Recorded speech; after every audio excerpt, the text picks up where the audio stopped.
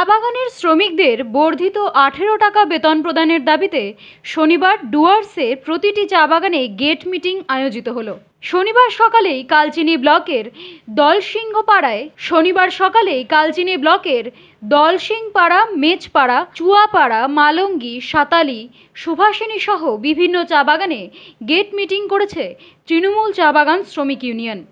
চা বাগানের শ্রমিকদের আঠেরো টাকা দৈনিক মজুরি বৃদ্ধির দাবিতে গত পঁচিশে মে থেকে চা বাগানে গেট মিটিংয়ে সামিল হয়েছে তৃণমূল চা বাগান শ্রমিক ইউনিয়ন। ইউ বাংলা টিভি, হৃদয় ছুঁয়ে যায়।